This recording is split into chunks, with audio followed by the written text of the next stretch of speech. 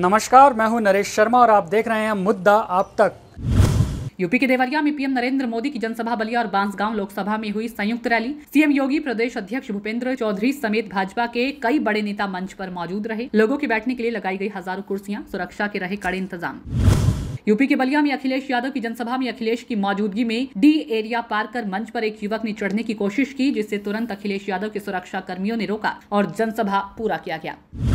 संभल जनपद के धनारी थाना क्षेत्र के क्रतिया गाँव के जंगल में नलकूप के पास दर्जनों सुअर बरामद हुए। सुअर तस्करों द्वारा जंगली सुअरों को ज़िंदा पकड़कर उन्हें भून कर खाया जाता था। सुअर तस्कर अब तक लगभग 200 से अधिक सुअरों को मारकर उन्हें भून कर खा चुके हैं। मौके पर पहुँची पुलिस और वन विभाग की टीम ने जाँच पड़ताल करने के बाद सभी सुअरों को जंगल में छोड़ा। धनारी थाना क्षेत्र के कृतिया गाँव में कोडरी देवी मंदिर के पास कुछ जंगली सुअर बंधे हुए मिले हैं। अच्छा सर। हमारी टीम ने पूरा एक फ़ौरन रेस्पॉन्ड किया और हमारी टीम मौके पे पहुँची।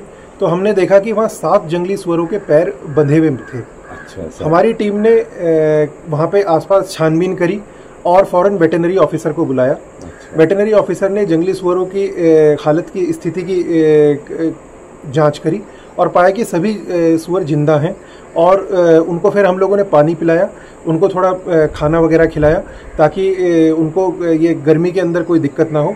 और उसके बाद हमने देर शाम को उनको दूर जंगल में ले जाके उस जगह से दूर जंगल में ले जाके रिलीज़ कर दिया। मैं आपको बताना चाहता हूँ कि जंगली सुअर वन्यजीव संरक्षण अधिनियम 1972 के शेड्यूल टू के अंदर एक प्रोटेक्टेड वन्यजीव है। जी। इसका शिकार करना कानूनन अपराध है।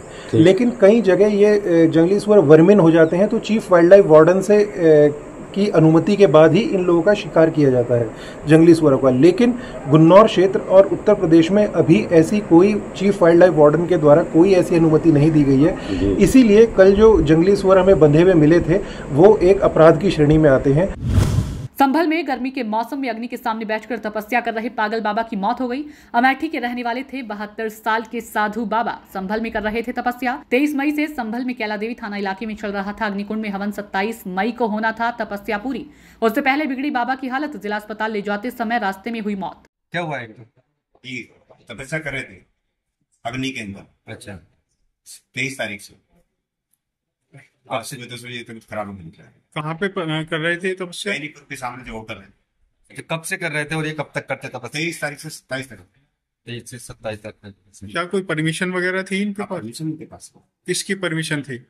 यही जो जिलाधिकारी कांकेर में अचानक आई आंधी से परलकोट क्षेत्र के कई गरीब किसान परिवार प्रभावित हुए हैं। किसी के घर का छप्पर उड़ गया तो किसी के घर पर पेड़ गिरने से घर नष्ट हो गया। घर में रखा अनाज सहित कीमती वस्तु आंधी बारिश में भीगने से नष्ट हो गई। अचानक बेमौसम आई तेज आंधी और बारिश से क्षेत्र में तबाही ने जनजीवन प्रभावित किया। इस विषम परिस्थिति में भाजपा युवा मोर्चा के अध्यक्ष, शंकर सरकार, अन्य साथियों सहित मिलकर पीड़ितों की मदद कर रही हैं। कांकेर के पखानजूर में तेज गर्मी से लोग परेशान हैं। इलाके में तेज आंधी तूफ़ान चल रहा है। आंधी तूफ़ान से ग्रामीणों को भी नुकसान हुआ तो वहीं पखानजूर टाउन में कई जगह बिजली के खंभे टूट गए हैं। एलटी तार सड़कों पर बिछा हुआ है। पिछली रात कई इलाके में बिजली के तार टूटने से आपूर्ति बाधित रही। आदित्य ठाकुर ने बताया कि टाउन में बहुत पुराने बड़े बड़े पेड़ हैं। आंधी तूफ़ान की चपेट में आकर पेड़ टूटकर बिजली के खंभों पर गिरते हैं, जिससे तार टूट जाता है। लाइन को दुरुस्त करने के लिए बिजली विभाग 24 घंटे काम करता है। अमरोहा जिला अस्पताल बना अखाड़ा। दवाई लेने आई दो महिलाओं के बीच में जमकर हुई मारपीट। लाइन में लगने को लेकर हुआ था विवाद। पास में खड़े सुरक्षा कर्मी ने कराया बीच बचाव। मारपीट का वीडियो सोशल मीडिया पर हो रहा वायरल। यूपी के बुलंदशहर के गुलावटी में ट्रांसफार्मर में लगी भीषण आग आग और धुएँ के गुब्बार से मची अफरा तफरी। गुलावटी में हाईवे किनारे पेट्रोल पंप के पास हुई स्पार्किंग, जिसकी वजह से भीषण आग लग गई। बिजली सप्लाई बंद कर दमकल कर्मियों ने आग पर पाया काबू।